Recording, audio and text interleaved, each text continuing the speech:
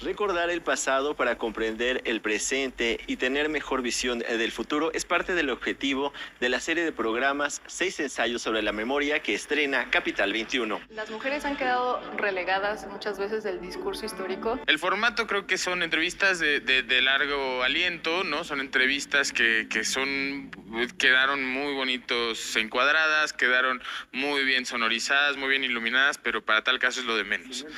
Este, lo que es más importante es sus voces, este cruce, esta interacción que se da con el ensayo que, que, que terminamos haciendo. ¿La memoria que vas a traer hegemónica? O la contestataria. Van a ver eh, muchas reflexiones acerca de cómo se ha construido la memoria de los movimientos de las mujeres, por ejemplo, de la memoria biocultural en nuestro país, pero sobre todo en la ciudad, ¿no? Vamos a ver también, este, pues, qué es la memoria, o sea, cómo funciona también biológicamente la memoria, ¿no?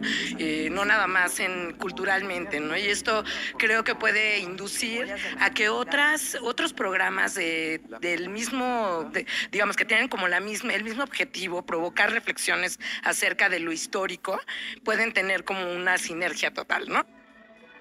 Con este programa, Capital 21 busca crear una televisión que nos ayude a recordar nuestro pasado y que la memoria es un derecho.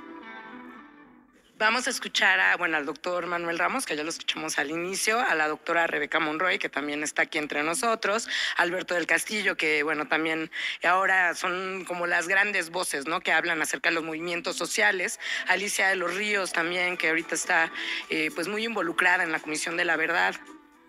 No creo que se llegue a, no se cuenta una historia de inicio, desarrollo final, son más bien reflexiones que nos permiten preguntar, equivocarnos y acertar, ¿no?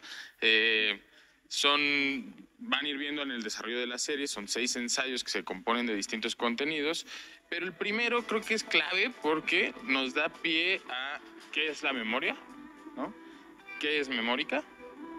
Y a partir de ahí, ¿qué podemos contar? ¿Qué somos en la sociedad? ¿Y qué, qué queremos ser?